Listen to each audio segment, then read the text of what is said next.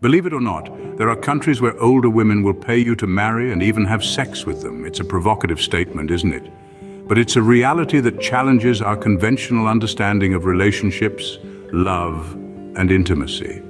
In a world where societal norms heavily influence our perspectives, acknowledging such truths can be unsettling. But today, we're peeling back the layers of this controversial topic. Brace yourselves because we're about to dive into this unconventional world. Age gap relationships are not new. They've been around for centuries. Let's delve into the heart of the matter. Age gap relationships, they're a phenomenon that's as old as time itself. Picture the classic narrative an older, affluent man paired with a much younger woman. This image has been ingrained into our collective consciousness, reinforced by countless tales from history and popular culture. Look back at the annals of history and you'll find such relationships were commonplace.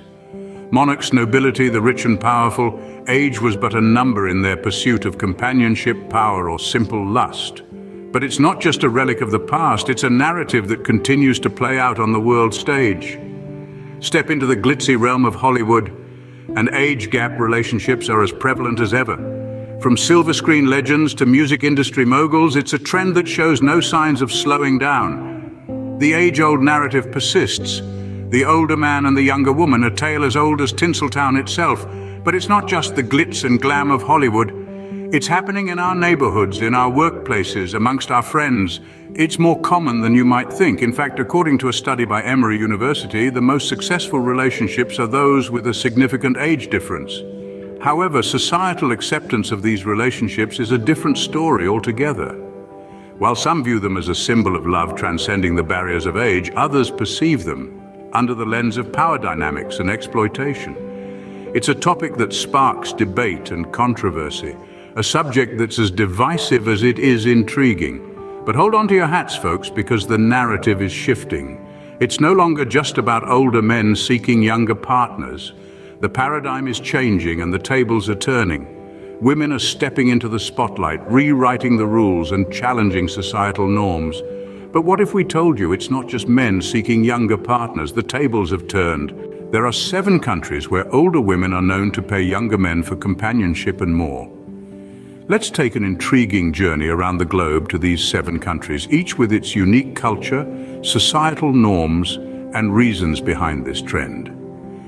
First on our list is the sunny climes of Spain. In this country, where the siesta is as much a part of life as the fiesta, it's not uncommon for older women to seek the companionship of younger men. This trend is deeply rooted in the culture of freedom and openness that Spain is known for. Next, we head east to the land of sushi and samurais, Japan. The societal norms here are quite different from those in the West. While Japan is known for its respect for the elderly, it's also a place where older women often find themselves lonely and seeking the company of younger men. Our third stop takes us to the United States, a melting pot of diverse cultures and ideologies. The reasons behind this trend here are multifaceted, ranging from the desire for a more youthful energy to the societal pressure to maintain a youthful appearance. From there, we jet off to the vibrant and colorful country of Brazil. Known for its lively festivals and passionate people, it's no surprise that older women in Brazil are more open to the idea of being with younger men. Then we make our way to the romantic city of Lights, France. Here, love knows no age. It's a place where the romance between an older woman and a younger man is seen as just another form of love, not a societal taboo. Next, we head to the land down under, Australia. The laid-back and friendly culture of Australia lends itself to more open-minded views on relationships, including those between older women and younger men. Finally, we journey to the beautiful landscapes of South Africa. Despite its tumultuous history, South Africa is a country where the unconventional is often embraced, including relationships between older women and younger men. It's a reality, and it's happening right now. But why? Why are older women willing to pay for companionship and sex in these countries? It's a question that's been circling around in our minds, isn't it? Well, let's dive into the reasons behind this trend. First off, there's the undeniable factor of loneliness. Many of these women are either widowed, divorced, or single, and they're looking for companionship, someone to share their life experiences with. It's not just about sex, it's about having someone to talk to, someone to hold, someone to make them feel less alone in the world. Then there's empowerment. In a society that often values women mainly for their youth and beauty, there's something liberating about being the one who calls the shots. These women are embracing their desires, their needs and their financial independence. They're flipping the script on traditional gender roles and in doing so they're reclaiming their power. But it's not just about loneliness or empowerment, we're also seeing a shift in the dynamics of relationships. Traditionally, men have been the providers, the protectors, the ones in control. But as gender roles evolve and as women gain more financial independence, they're beginning to redefine what a relationship can look like. And let's not forget about the allure of the exotic, the thrill of experiencing something new and different.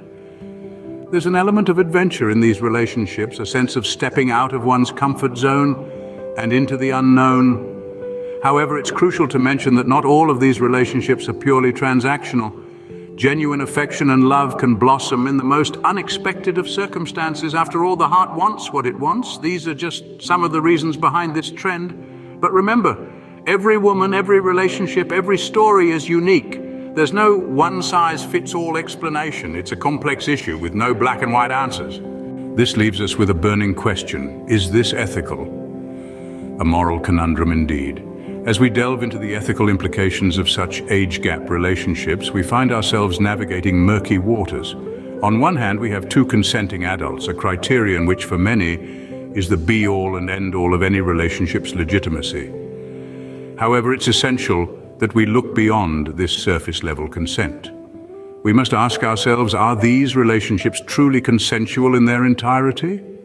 Are these older women perhaps desperate for companionship, unwittingly exploiting the economic vulnerability of younger men?